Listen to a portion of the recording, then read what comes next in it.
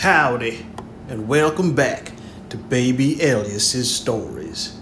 We now return to The Call of the Wild by Jack London. Chapter 5 The Toil of Trace and Trail. Part 1. Thirty days from the time it left Dawson, the saltwater mail with Buck and his mates at the fore arrived at Skagway. They were in a wretched state, worn out and worn down. Buck's 140 pounds had dwindled to 115.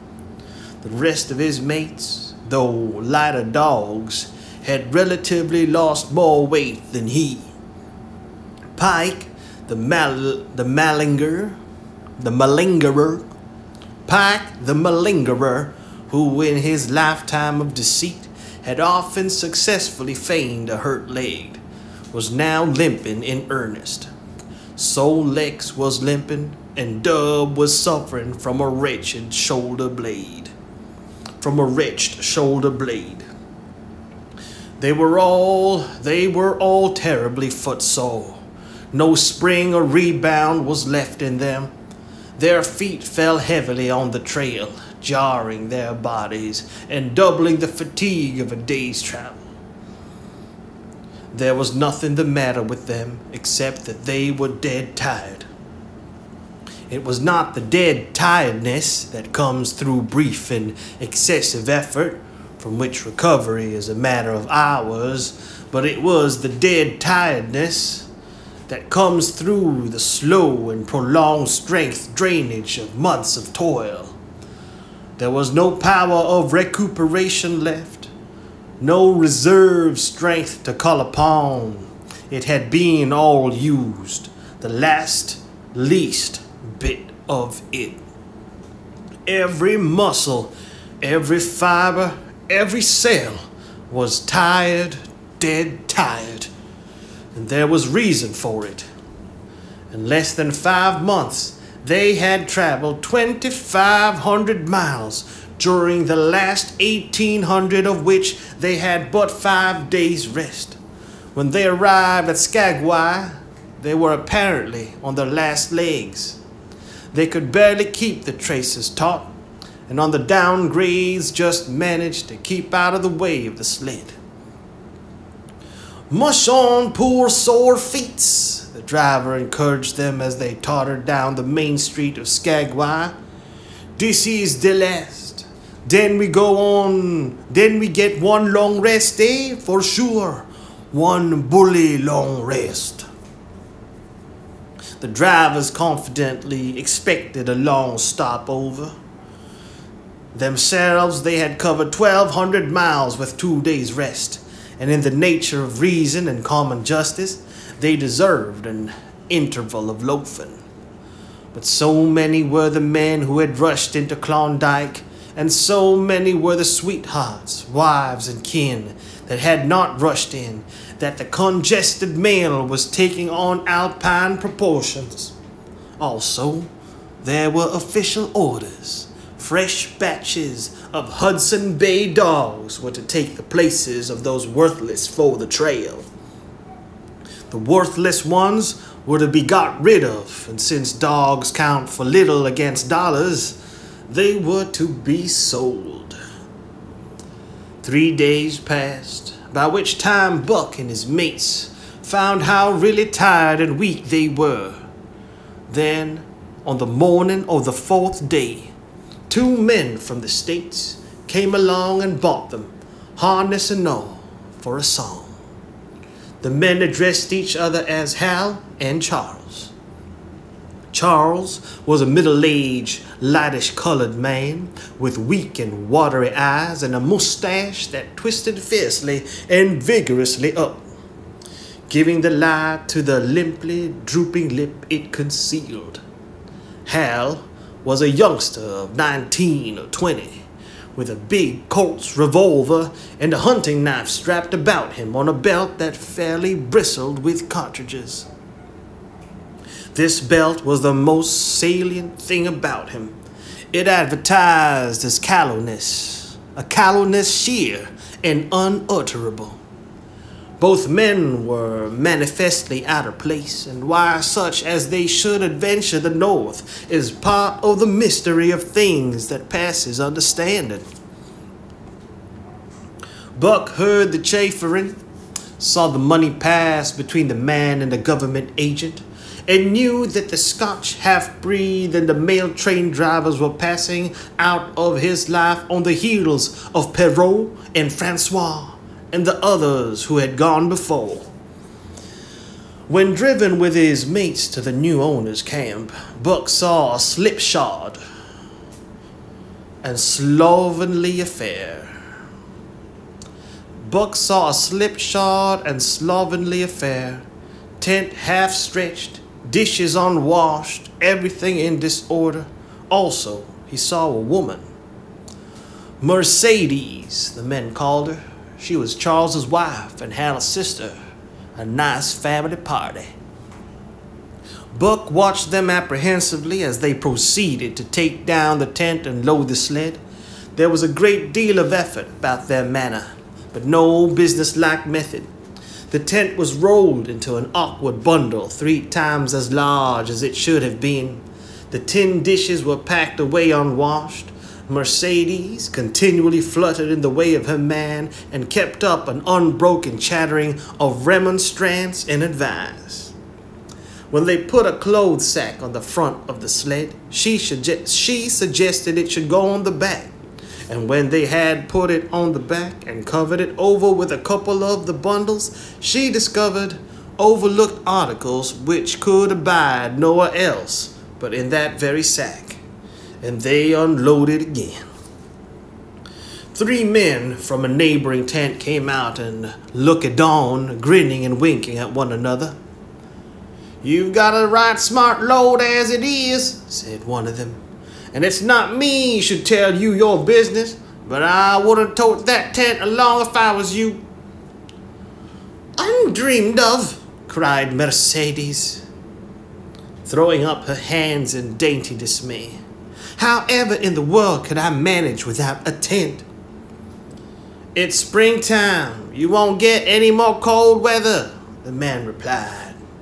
She shook her head decidedly and Charles and Hal put the last odds and ends on top the mountainous load. Think it'll ride? One of the men asked. Why shouldn't it? Charles demanded rather shortly. Oh, that's all right, that's all right, man hastened meekly to say. I was just a wondering, that is all. It seemed a mite top heavy. Charles turned his back and drew the lashings down as well as he could which was not in the least well. And of course, the dogs can hack along. And of course, the dogs can hack along all day with that contraption behind them, affirmed the second of the men. Certainly, said Hal with freezing politeness, taking hold of the G pole with one hand and swinging his whip from the other. Mush! he shouted. Mush on there!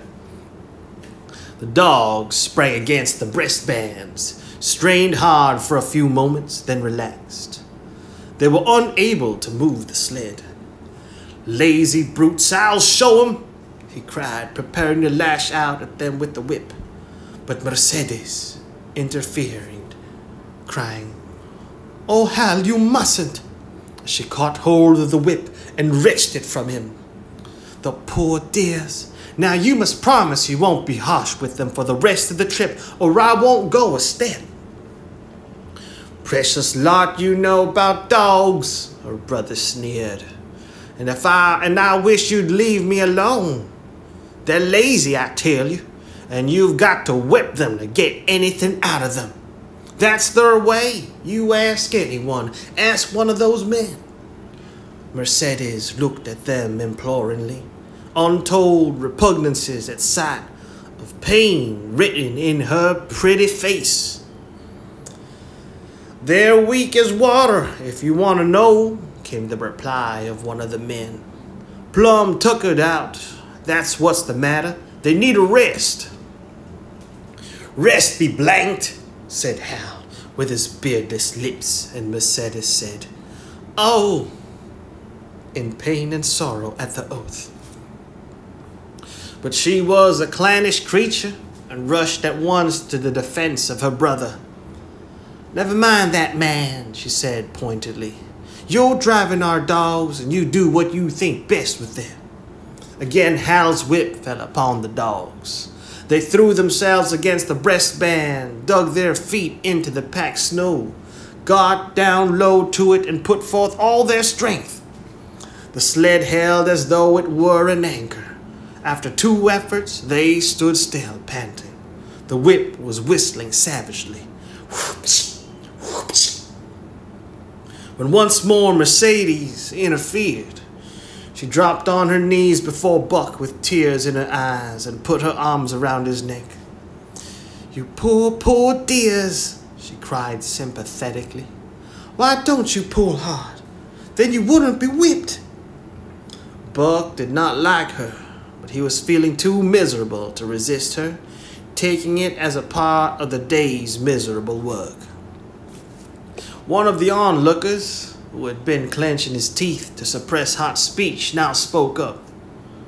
It's not that I care a whoop what because of you, but for the dog's sakes, I just want to tell you, you can help them a mighty lot by breaking out that sled. The runners are froze fast. Throw your weight against the G-pole, right and left, and break it out. Third time the attempt was made, but this time, following the advice, Hal broke out the runners which had been frozen to the snow. Overload the overloaded and unwieldy sledge forged ahead, Buck and his mates struggling frantically under the rain of blows.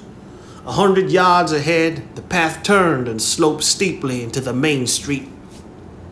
It would have required an experienced man to keep the top heavy sled upright, and Hal was not such a man. As they swung on the turn, the sled went over, spilling half its load through the loose lashings. The dogs never stopped. The lightened sled bounded on its side behind them. They were angry because of the ill treatment they had received and the unjust load. Buck was raging. He broke into a run, the team following his lead. Hal cried, Whoa, whoa! But they gave no heed.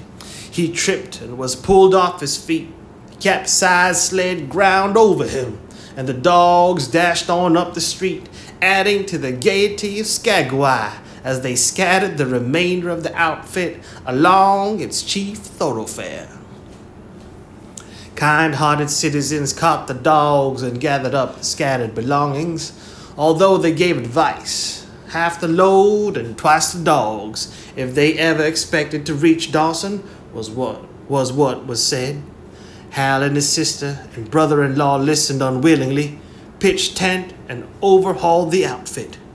Canned goods were turned out that made men laugh, for canned goods on the long trail is a thing to dream about. Blankets for a hotel, quoth one of the men who laughed and helped. Half as many is too much. Get rid of them. Throw away that tent and all those dishes. Who's gonna wash them anyway? Good Lord, do you think you're traveling on a Pullman? And so it went. The inexor- inexorable elimination of the superfluous.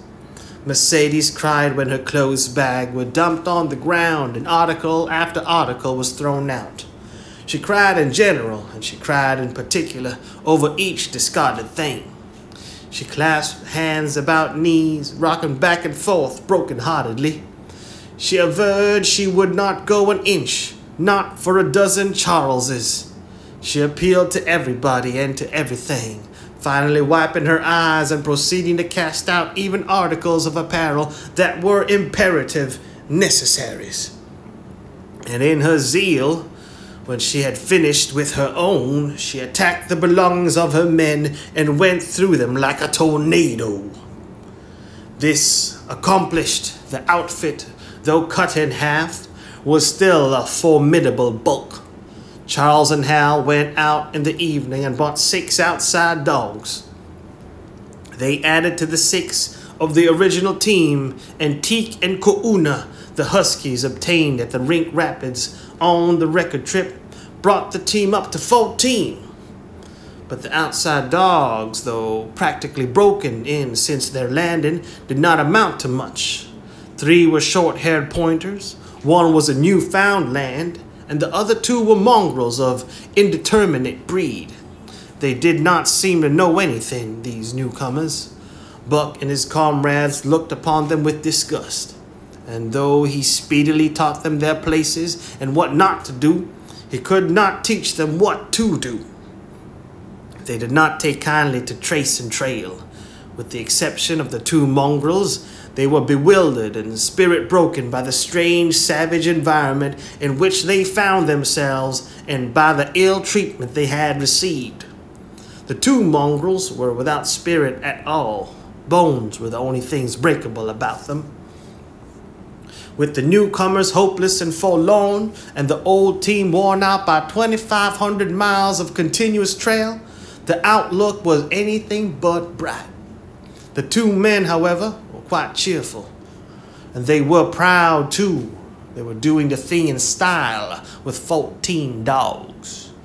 They had seen other sleds depart over the pass for Dawson or come in from Dawson, but never had they seen a sled with so many as 14 dogs. In the nature of Arctic travel, there was a reason why 14 dogs should not drag one sled, and that was that and that was that one sled could not carry the food for 14 dogs. But Charles and Hal did not know this. They had worked the trip out with a pencil, so much to a dog, so many dogs, and so many days. QED Mercedes looked over their shoulders and nodded comprehensively. It was all so very simple. Late next morning, Buck led the long team up the street. There was nothing lively about it, no snap or go in him and his fellows. They were started dead wary. Four times he had covered the distance between salt water and Dawson, and the knowledge that, jaded and tired, he was facing the same trail once more made him bitter. His heart was not in the work, nor was the heart of any dog. The outsiders were timid and frightened, the insiders without confidence in their masters. Buck felt vaguely that there was no depending upon these two men and women. They did not know how to do anything, and as the days went by, it became apparent that they could not learn. They were slack in all things without order or discipline.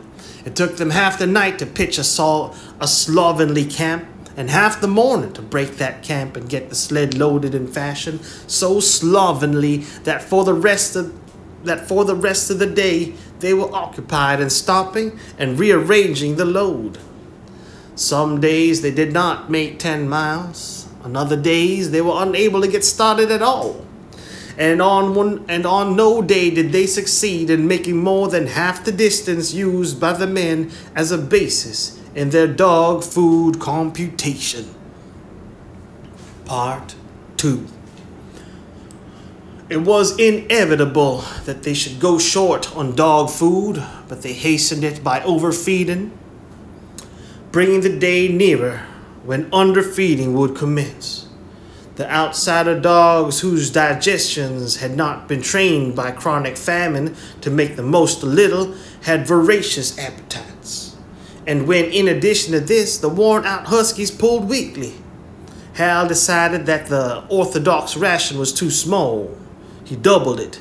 And to cap it all, when Mercedes, with tears in her pretty eyes and a quaver in her throat, could not cajole him into giving the dogs still more, she stole from the fish snacks and fed them slyly. But is was not food that Buck and the Huskies needed, but rest. And though they were making poor time, the heavy load they dragged sapped their strength severely. Then came the underfeeding. Hal awoke one day to the fact that his dog food was half gone and the distance only quarter covered. Further, that for love or money, no additional dog food was to be obtained. So he cut down even the orthodox ration and tried to increase the day's travel. His sister and brother-in-law seconded him, but they were frustrated by their heavy outfit and their own incompetence. It was a simple it was a simple matter to give the dogs less food, but it was impossible to make the dogs travel faster, while their own inability to get underway earlier in the morning prevented them from traveling longer hours. Not only did they not know how to work dogs, but they did not know how to work themselves. The first to go was Dub, poor blundering thief that he was, always getting caught and punished. He had nonetheless been a faithful worker. His wretched shoulder blade, untreated and unrested, went from bad to worse, till finally Hal shot him with the big Colt's revolver. It is a saying of the country that an outside dog starves to death on the ration of the husky. So the six outside dogs under Buck could do no less than die on half the ration of the husky. The Newfoundland went first, followed by the three short haired pointers, the two mongrels hanging more grittily on to life, but going in the end. By this time, all the amenities and gentleness of the Southland had fallen away from the three people. Shorn of its glamour and romance, Arctic travel became to them a reality too harsh for their manhood and womanhood. Mercedes ceased weeping over the dogs, being too occupied with weeping over herself and with quarreling with her husband and brother. To quarrel was the one thing they were never too weary to do. Their, irrita- their irritability arose out of their misery, increased with it, doubled upon it, outdistanced it. The wonderful patience of the trail which comes to men who toil hard and suffer sore and remain sweet of speech and kindly did not come to these two men and women. They had no inkling of such a patience. They were stiff and in pain. Their muscles ached, their bones ached, their very hearts ached, and because of this they became sharp of speech, and hard words were first on their lips in the morning and last at night. Charles and Hal wrangled whenever Mercedes gave them a chance. It was the cherished belief of each that he did more than his share of the work, and neither forbore to speak his belief at every opportunity. Sometimes Mercedes sided with her husband, sometimes with her brother. The result was a beautiful and unending family quarrel, starting from a dispute as to which should chop a few sticks, as to which should chop a few sticks for the fire, a dispute which concerned only Charles and Hal, presently would be lugged in the rest of the family presently would be lugged in the rest of the family, fathers, mothers, uncles, cousins, people thousands of miles away, and some of them dead. That Hal's view on arts, or the sort of society plays his mother's brothers wrote, should have anything to do with the chopping of a few sticks of firewood passes comprehension. Nevertheless, the quarrel was as likely to tend in that direction as in the direction of Charles's political prejudices. Prejudices, and that Charles's sister, Charles's sister's tale-bearing tongue should be relevant to the building of a Yukon fire was apparently only to Mercedes, who disburdened herself of copious opinions upon that topic and incidentally upon a few other traits unpleasantly peculiar to her husband's family. In the meantime, the fire remained unbuilt, the camp half pitched, and the dogs unfed. Mercedes nursed a special grievance, the grievance of sex. She was pretty and soft and had been chival- chivalrously treated all her days but the present treatment by her husband and brother was everything save chivalrous. It was her custom to be helpless.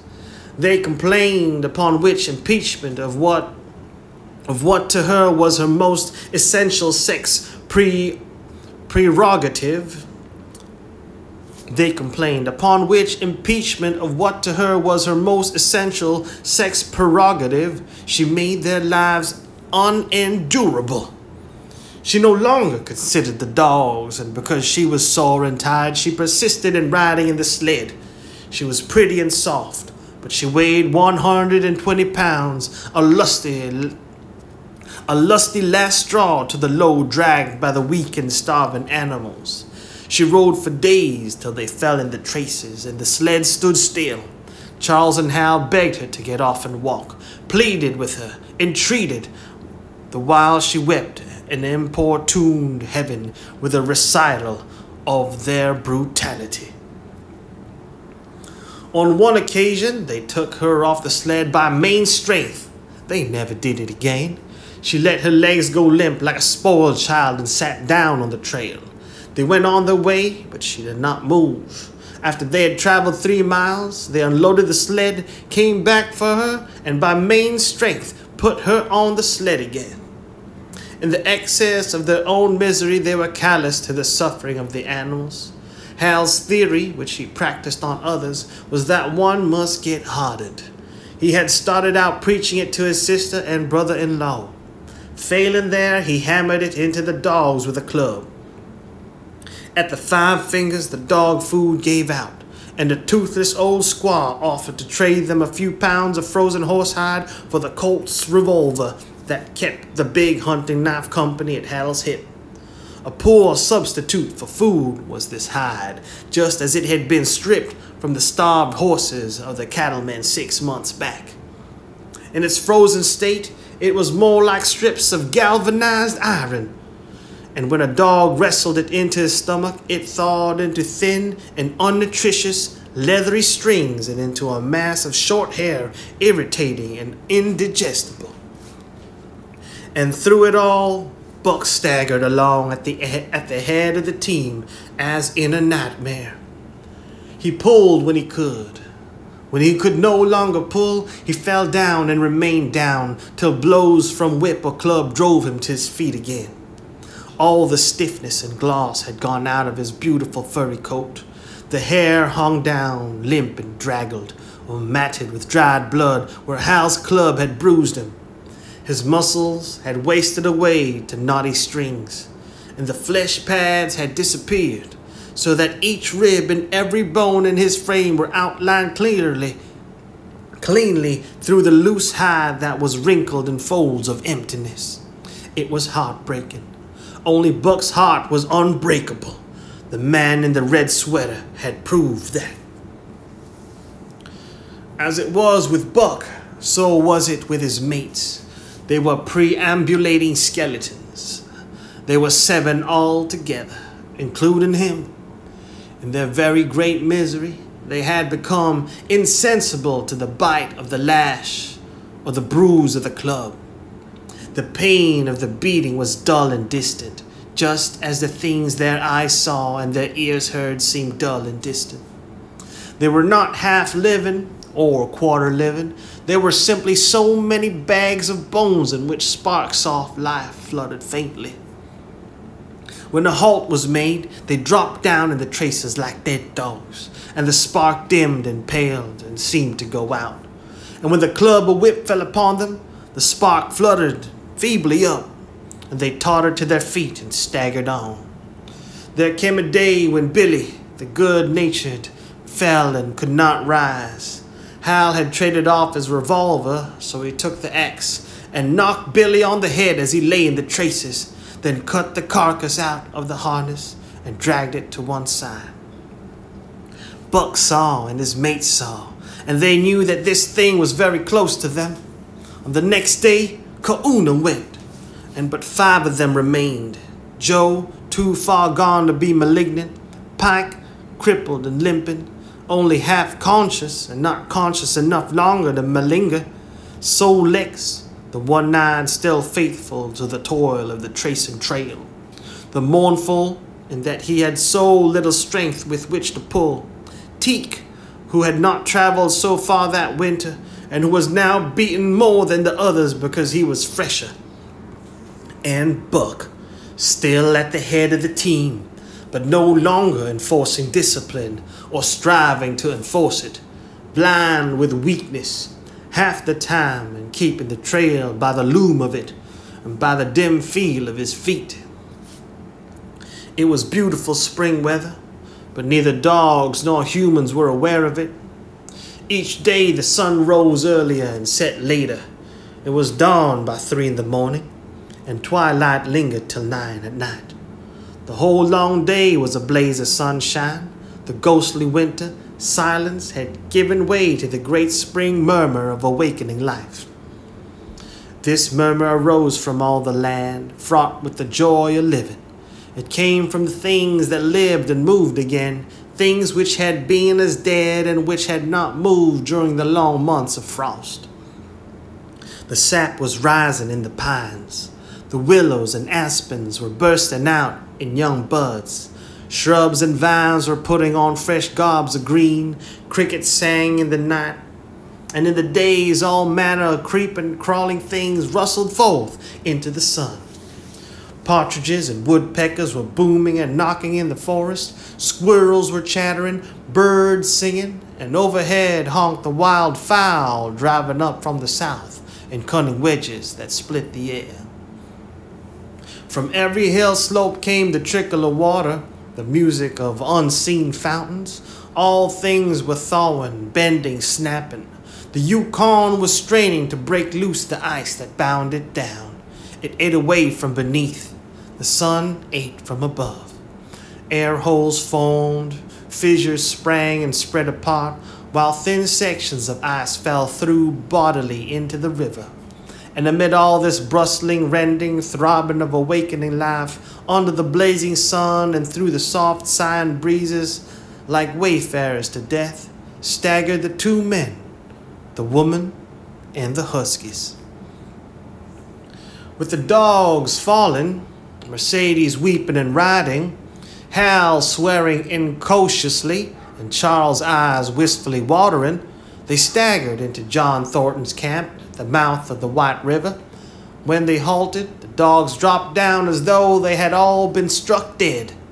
Mercedes dried her eyes and looked at John Thornton.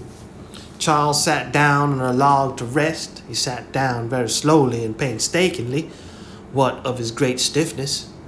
Hal did the talking. John Thornton was wittingly, wittingly the last touches on the axe handle he had made from a stick of birch. He wilted and listened. He whittled and listened, gave monosyllabic replies, and when it was asked, terse advice. He knew the breed, and he gave his advice in the certainty that it would not be followed. They told us, uh, they told us up above that the bottom was dropping out of the trail and that the best thing for us to do was to lay over. Hal said in response to Thornton's warning to take no more chances on the rotten ice. They told us we couldn't make White River, and here we are. This last with a sneering ring of triumph in it. And they told you true, John Thornton answered. The bottom's likely to drop out at any moment. Only fools with the blind luck of fools could have made it. I tell you straight, I wouldn't risk my carcass on that ice for all the gold in Alaska. That's because you're not a fool, I suppose, said Hal. All the same, we'll go on to Dawson. He uncoiled his whip. Get up there, Buck! He! Get up there! March on! Thornton went on whittling. It was idle, he knew, to get between a fool and his folly while two or three fools more or less would not alter the scheme of things. But the team did not get up at the command. It had long since passed into the stage where blows were required to rouse it. The whip flashed out, here and there on its merciless errands. John Thornton compressed his lips. Sol Leks was the first to call to his feet, crawl to his feet. Teek followed. Joe came next yelping with pain. Pike made a painful efforts. Pike made painful efforts. Twice he fell over. When half up and on the third attempt managed to rise, Buck made no effort. He lay quietly where he had fallen. The lash bit into him again and again, but he neither whined nor struggled. Several times Thornton started, as though to speak, but changed his mind. Moisture came into his eyes. And as the whipping continued, he arose and walked irresolutely, irresolutely up and down. This was the first time Buck had failed, in itself a sufficient reason to drive Hal into a rage. He exchanged the whip for the customary club. Buck refused to move under the rain of heavier blows which now fell upon him. Like his mates, he was barely able to get up, but unlike them, he had made up his mind not to get up. He had a vague feeling of impending doom. This had been strong upon him when he pulled into the bank, and it had not departed from him. What of the thin and rotten ice he had felt under his feet all day? It seemed that he sensed disaster close at hand, out there ahead on the ice, where his master was trying to drive him. He refused to stir. So greatly had he suffered, and so far gone was he, that the blows did not hurt much. And as they continued to fall upon him, the spark of life within flickered and went down. He was nearly out.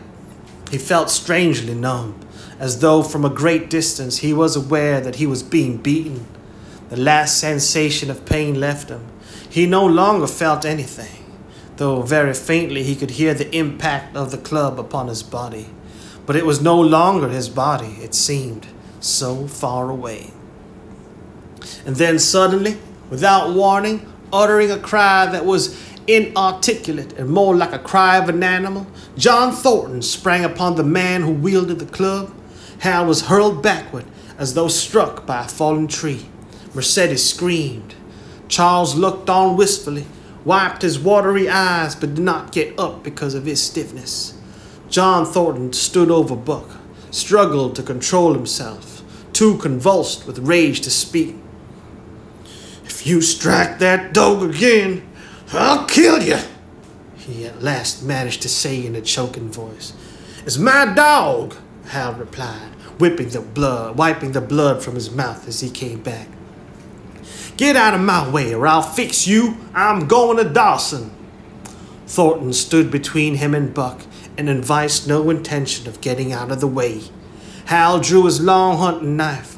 Mercedes screamed, cried, laughed, and manifested the chaotic abandonment of hysteria. Thornton rapped Hal's knuckles with the axe handle, knocking the knife to the ground. He rapped his knuckles again as he tried to pick it up. Then he stooped, picked it up himself, and with two strokes cut Buck's traces. Hal had no fight left in him. Besides, his hands were full with his sister, or his arms rather, while Buck was too near dead to be of further use in hauling the sled. A few minutes later, they pulled out from the bank and down the river. Buck heard them go and raised his head to see. Pike was leading. Sol Leks was at the wheel, and between were Joe and Teek. They were limping and staggering. Mercedes was riding the loaded sled. Hal guided at the G pole and Charles stumbling along in the rear. As Buck watched them, Thornton knelt beside him and with rough, kindly hands searched for broken bones. But the time his search had disclosed nothing more than many bruises and a state of terrible starvation. The sled was a quarter of a mile away. Dog and man watched it crawling along over the ice.